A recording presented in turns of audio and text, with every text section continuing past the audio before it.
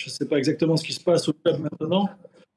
Juste, euh, comme je disais tout à l'heure, euh, de vendre Gregersen à 1,8 million ou 1,2 million, je ne sais pas, à, la trêve, euh, le, message il est catastrophique pour le reste de la saison parce que on ne peut pas travailler en confiance si on vend notre, notre meilleur joueur à ce tarif-là alors qu'on est dans le rouge.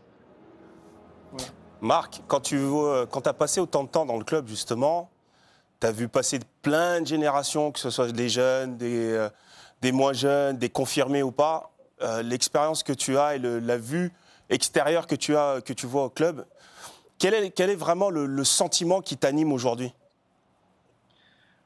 J'ai un, de mes anciens coéquipiers qui m'a croisé il y a six mois.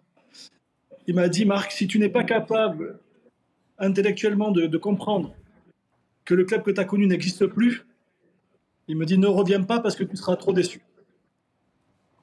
Et je pense que le football que j'ai connu, je ne peux plus garder le même discours parce qu'il serait totalement utopique. Mhm. Voilà, c'est, j'ai, connu autre chose, peut-être notre football. Ah, j'ai connu un club familial avant tout, avec un président euh, là tous les jours, très proche des joueurs, des salariés qui étaient là depuis 25-30 ans. Et là, aujourd'hui, il n'y a plus rien. Alors, la petite parenthèse, c'est que il n'y a pas que Gérard Lopez qui a fait du mal au club.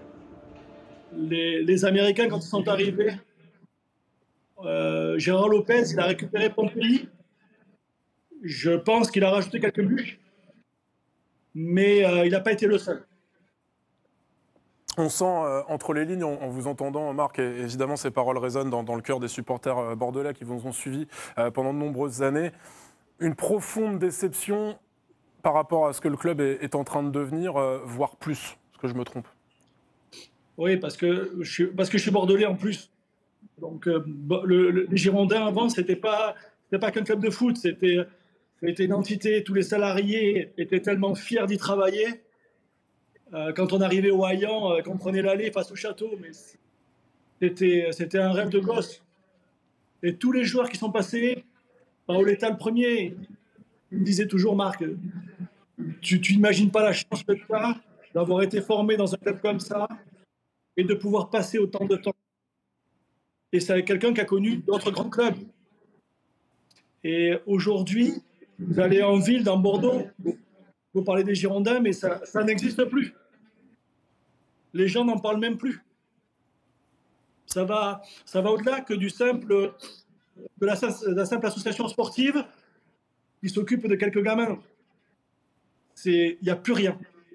Merci beaucoup, euh, Marc Planus. Et pour faire écho à vos, paroles, on découvrira dans, quelques instants, dans 4 minutes et le coup d'envoi, les tribunes extrêmement clairsemées euh, du Matmut Atlantique, même si on mardi soir.